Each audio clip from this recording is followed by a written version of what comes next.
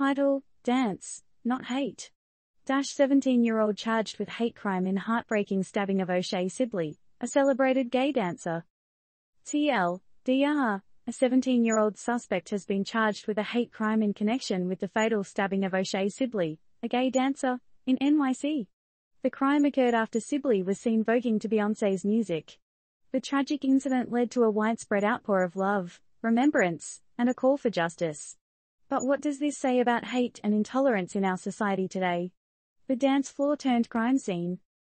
We all know the saying dance like no one's watching. But what happens when the dance floor becomes a crime scene? O'Shae Sibley, a talented gay dancer, was living life to the fullest, dancing to Beyonce's tunes at a gas station in NYC.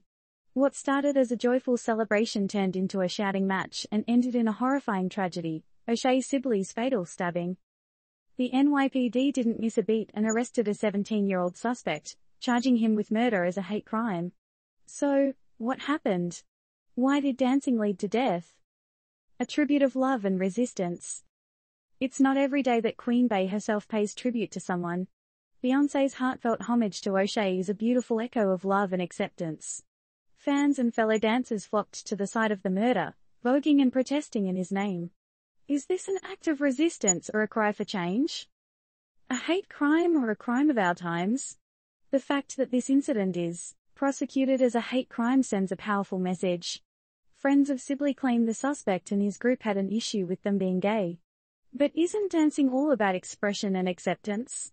How did we get here, where dancing to a song can ignite such hatred? The H factor, justice or judgment? Our 17-year-old suspect will face the full force of the law.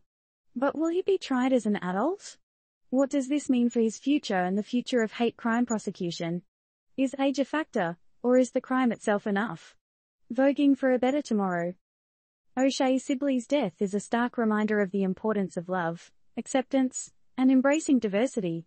We need to vogue our way to a better tomorrow, where hate has no place on the dance floor or anywhere else. People are turning grief into a movement, using the art of dance as a weapon against hate. But the question remains.